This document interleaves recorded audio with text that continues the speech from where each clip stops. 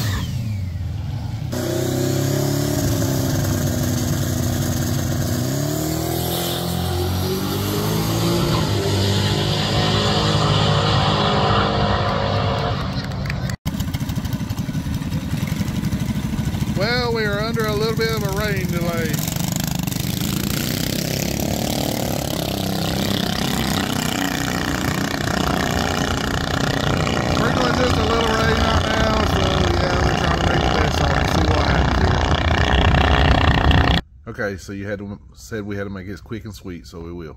Go watch the last video because we're doing a little giveaway. So if you want to know what it is, you just have to see where it is and what we're giving away. So anyway, race Saturday, rained out, obviously. Got some test passes in. Got some goofballs behind me. I know that. They're making fun of they're probably making fun of us back there. You got your couple test passes in, car done pretty much what you wanted. First round.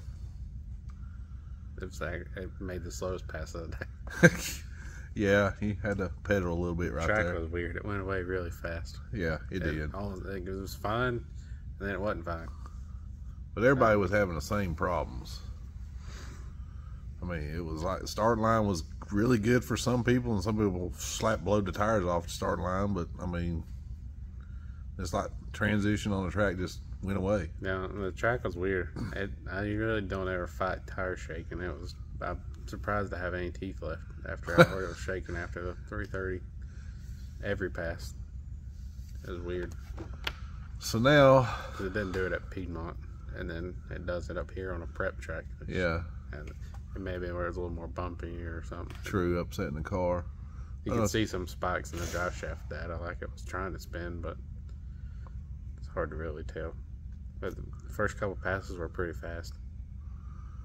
And now it kind of brings you to a crossroads with your car. You've been talking about it for, I'll say, about a month now. You've been wanting to go faster, which you have. We're in a weird spot. yeah, Like, still fits Extreme Street and some modern rules, but morally, I know what I've run compared to, I would say, 90 to 95% of the class. There's three or four, five cars I feel like that are at the top in the, the same ET as me, but they don't show up at every race I show up at. So if I'm three tenths to half a second faster than all the other cars, what does that really prove for me? That I mean, yeah, it's cool to win and you win some money, but sometimes you know you get races that don't have money on top of a pot, so you get 20 cars, hundred dollars a pop. That's two grand that you're racing for, and you got to go through what five rounds, four or five Yeah. rounds of racing, and absolutely beat your car on the front side. I mean, two thousand dollars is a lot of money, but you know what it costs to get there sometimes, and if something breaks, it's minuscule.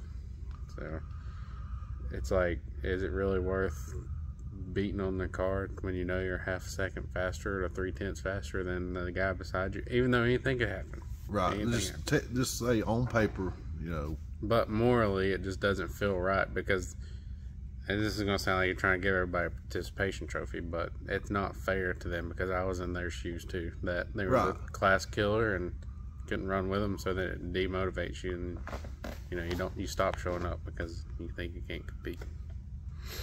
so like I said, you're at a crossroads now. So then if I run small tire, I'm not the slowest in small tire. I'm not the fastest. Kind of in the middle. Kind of been beside of some of the top small tire cars and within a car length or so, two cars of them. You just try to find what you can do next to make up that distance, other than learning the setup and testing. But this thing's still 3,500 pounds. needs to be, with me in it, it needs to be 3,200 probably. So you're leaning towards going small tire trim. Probably, yeah.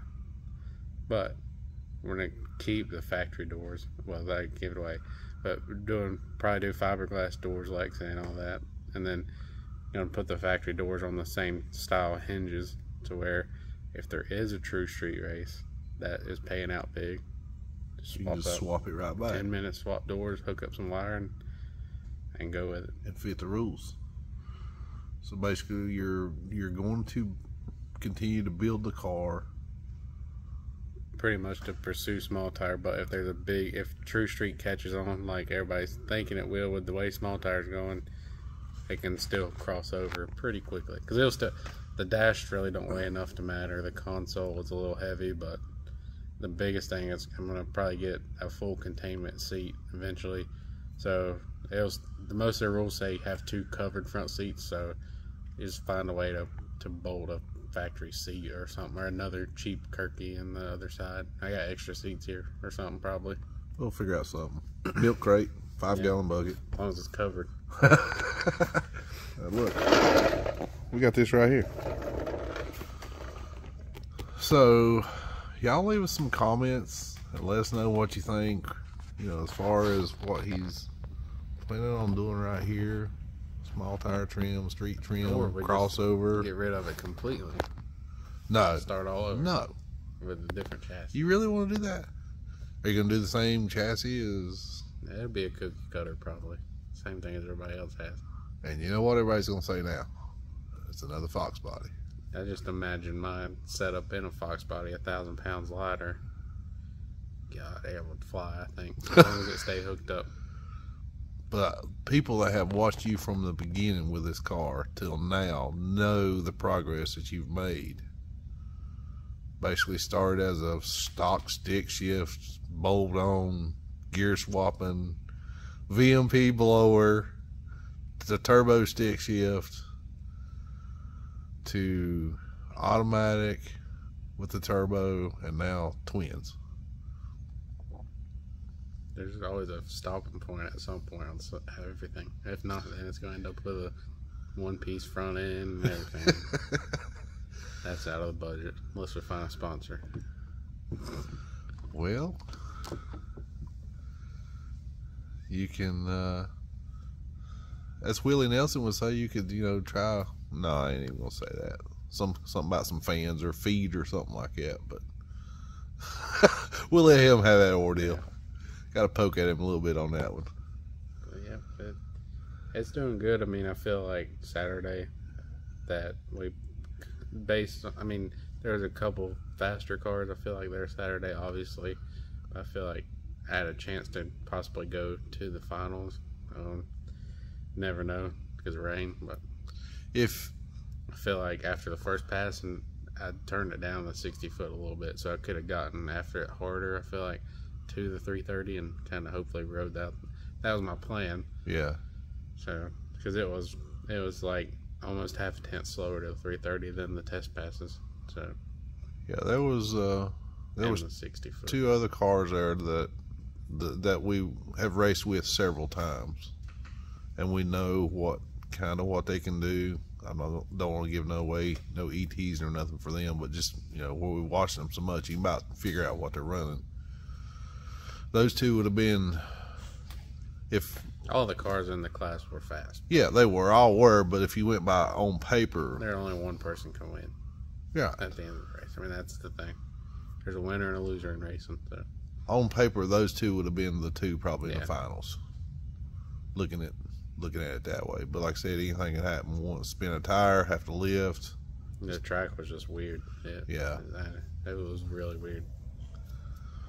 I feel like that was the changes I made in second round. It would have probably picked that half a tenth back up to 60 foot. And I don't know what the other cars were 60 footing, but going back and watching some other people's coverage videos, I feel like I had kind of one of the fastest 60 foots, other than maybe one car in the class. So you never know because nobody really discusses times, which is fine. But you you can gauge your car and kind of see. Sometimes they, they look slower than they are, but that's just the gamble you take when you pull up there. Uh, as far as that goes, what's next on the racing list? Yeah, well, I ordered a boat and we're waiting on it to come in. You ordered, yeah. So probably nothing this weekend. If not, if it doesn't rain, try Mooresville Friday. Then next weekend, I know a lot of people are going to Shady Side for the big race, but probably go to Elk Creek. I just don't really feel like going. And if I'm going to go to a racetrack, I want to race. I don't want to sit and watch, especially if it's going to be hot. And there's yeah. no shade at Shady Side. Um, there you go. Kind of. They they really missed the name on that. one. Yeah. There's a little bit of shade down there here and there, but it's scarce. So we go to Elk Creek and do the Killer Street. See if we can sneak a win, possibly. Be good to go up there. We ain't got. To, we ain't really got to go up there yet this year. Yeah, So. first I'm a little sketched out about it. It's got a short shutdown. Yeah. I have about 30 or 40 more mile an hour than the last time I raced there. Yeah. Be on the parachute quick. Well, like I said, y'all leave us some comments. Let us know what you think about the small tire street crossover trim. Want to go faster and anything else you want for it? No, just excited to see how it looks with different doors. It's gonna be. Supposed to be some substantial weight out of them. It's, I mean, it's still gonna look the same. It'll It's be, they'll look- all be painted. I mean, I have Lexan and stuff. But but just to see the car, you know, I can see it in the background right now. It's, it's still gonna look the same. So yeah. so if any sponsors, I want to buy some doors or some Lexan. I got a whole list of stuff I gotta buy. So I hear if you're willing to pitch in, we'll take it. I, well, I, We'll I, put all kinds of stickers on the car and everything, everywhere, anywhere you want to put it. I know, I know you kind of keep mentioning sponsors and and, and you, you- Most of it's joking, but yeah, to an extent, it's you know you kind of are serious about it in a way. but and I do know, you know, far as that car goes, you've put a lot of time, a lot of wrenching, a lot of your own money in that car. Never really had a sponsor. so if somebody wants to say that you didn't do it, I mean, you know, it's, it's there's a lot put in right there. So, I mean, I'll I'll sponsor you a dyno to make some dyno pulls. oh yeah, I know the same person. well, I might sponsor you a building to make them dyno pulls in. hmm But other than that, I guess we're good. Yep. All right, we'll catch you on the next one.